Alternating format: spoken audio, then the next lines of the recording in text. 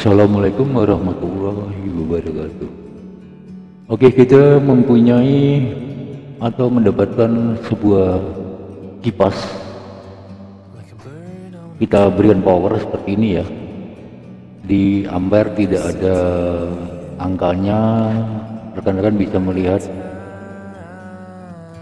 angka kuning dan angka merah ya, tidak ada sama sekali. Sepertinya pada kipas ini mati total. Untuk rekan-rekan cara perbaikan kipas mati total kita mendapatkan merek Cosmos ya. Cosmos merek berkualitas. Oke seperti ini ya kita coba memeriksa pada bagian dalamnya atau bagian dinamonya.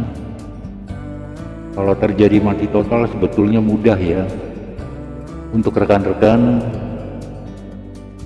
kita bisa ya langsung kita sambungkan dari luar.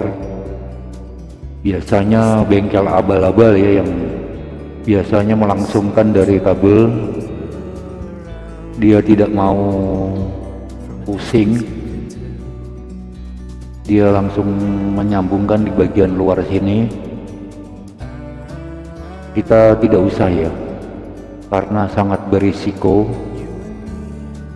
Kita akan mencari penyebab kenapa pada bagian kipas ini tidak mau menyala.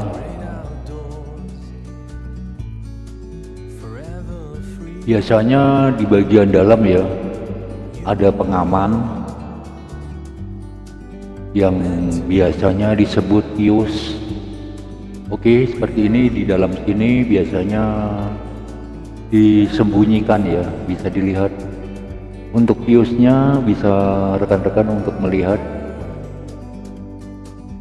Banyak ya bengkel abal-abal hanya bisa-bisa saja dia dilangsungkan untuk piusnya padahal pius ini Pius ini berguna ya untuk me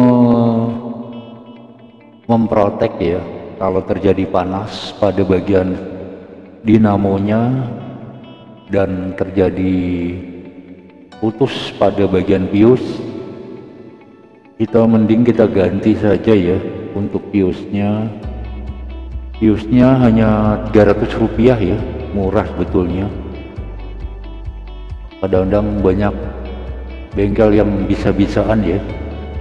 Menyambung atau menjemper kabel biru ke arah kapasitor. Dia nyala memang tapi tidak ada pengamannya dia.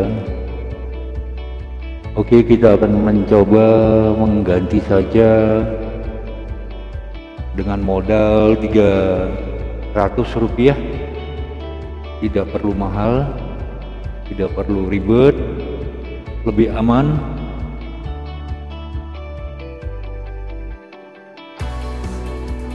Untuk ukurannya ya untuk ukuran pius biasanya 137 derajat atau 135 derajat.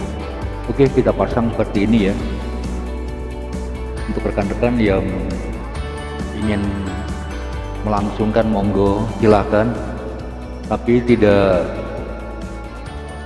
tidak ini ya apa namanya tidak menjamin ya bisa bahaya sekali karena nanti piusnya tidak memprotek ya. Kalau untuk kabel tidak memprotek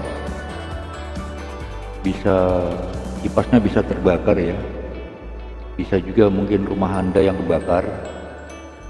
Oke kita tinggal mengikat ya untuk sepul yang kita ganti piusnya seperti ini kita ganti menggunakan tali krek.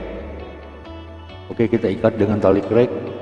Kita sudah mengganti untuk piusnya sebetulnya simpel ya. Simpel tapi mudah sekali ya. Pius sepele tapi sangat berisiko ya untuk rumah anda. Bisa mengalami konslet seandainya nanti terjadi overhead lagi ya bisa putus lagi untuk fuse-nya dan dapat kita ganti kembali. Oke seperti ini ya kita tinggal merapikan tinggal memberikan baut